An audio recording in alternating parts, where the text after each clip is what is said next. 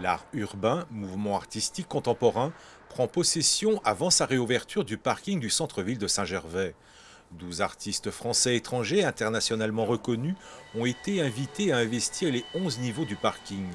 Chacun d'entre eux s'est vu attribuer un étage, soit 450 mètres carrés de murs et 500 mètres carrés de plafond, une performance, un geste artistique inégalé. C'est quelque chose auquel ils ont pour, la plupart l'habitude parce qu'ils travaillent beaucoup ce qu'on appelle en urbex, c'est-à-dire dans, des milieux désaffectés. Euh, voilà, donc là ils sont habitués à travailler sur le béton et dans des milieux qui ne sont pas forcément mis en lumière. Du coup, ça, fait des espèces de grottes, ils peuvent travailler tranquillement. Euh, et ça mélange vraiment différentes disciplines, autant l'architecture que le design, que le graphisme pour moi, parce que la lecture, elle se fait en plusieurs temps quand on rentre dans le parking, on ne voit pas un mur au fond, on voit des plafonds, on voit des piliers, la lecture sera complètement différente. Moi j'ai quitté, je dirais, le, studio, l'atelier, l'idée de produire des pièces euh, qu'on peut encadrer et présenter chez soi.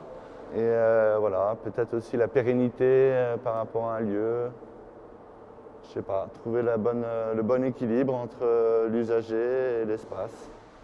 Les artistes composent avec le lieu, avec les angles et rebonds visuels, les astreintes spatiales et les axes de déambulation.